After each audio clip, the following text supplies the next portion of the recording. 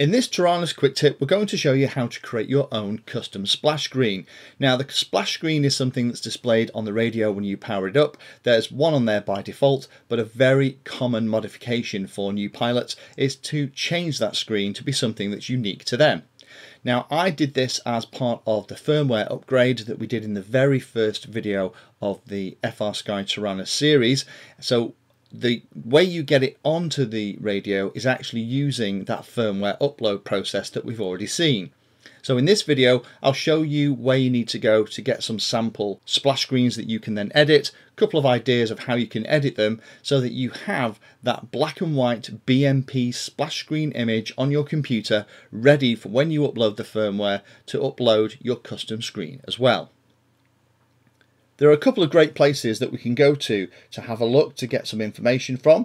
The first one is the open-tx.org website. There's some great information on here about how all this stuff works, but very interestingly, if we go into the download section, you can actually scroll down here and find the Taranis start screens. So you have these images. There are model icons that you can upload onto your radio that we'll look at later in the series. There are Taranis and also 9X and 9XR start screens as well. And that's because the screen sizes are slightly different. We're going to look at the Taranis one first. So if I click on that and we go down, here are loads of different black and white images that you could change to be your own particular one. Now, I'm actually going to just pick one that's closest to the kind of thing I'm after. Um, I'm going to pick that one. There we go. Just clicked on it. I'm going to right click and then say save picture as. I'm going to pop it onto my desktop, but I'm also going to save it as a bitmap. That's the important thing. BMP short for bitmap. I'm going to save it. So now we have an image we can play with that's in the right format and um, it's not very big so if I kind of zoom in there we go you can kind of see it's slightly pixelated um, what we can do is then edit the thing now there's a couple options for how we're going to edit this you can use any graphics editor that's on your machine. You can even use good old Microsoft Paint, which we'll play with in a second, just to give you an idea. There are things like, obviously, Paint Shop Pro, Photoshop, and you'll probably have one that you've used to create some basic graphics. What you need to do is if you haven't got one of those programs or it's not working well for you, there is this thing called gimp.org gimp.org. I'll put a link into the description so you can find it. This is a really nice free graphics editor that you can do some quite sophisticated things on. So I would have a look at this and um, have a go. Um, this will give you much more functionality if you want to do some sophisticated effects. The image itself has to be monochrome, but it will support different layers of grey. But I'd always recommend that the text is opposite from the background to make it stand out clearly.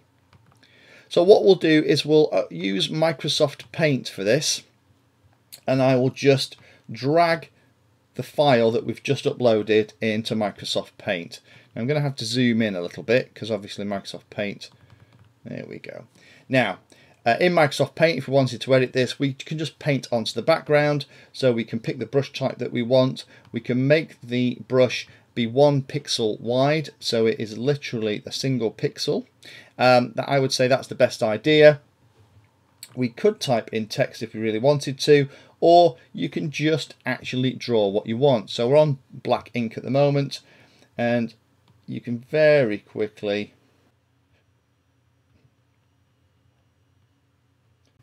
obviously you take a lot more time over this than I am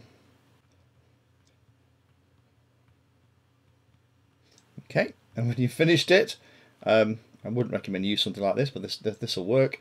We can then just click Save back to the desktop. Now what that means is that the image is the right size and it always has to be 212 pixels wide by 64 deep. So if you're going to create this using another graphics program and you're going to create the image from scratch, you need to start with 212 by 64 pixels. Now we've done that, there is our high quality image And what we would do is now go back and have that in a place we could find it, go to reflash the firmware onto the radio and select this image as the startup screen and then apply it as part of the firmware update. So hopefully that helps those of you that were wondering how you did this. Thanks for watching. Please like, subscribe and happy flying.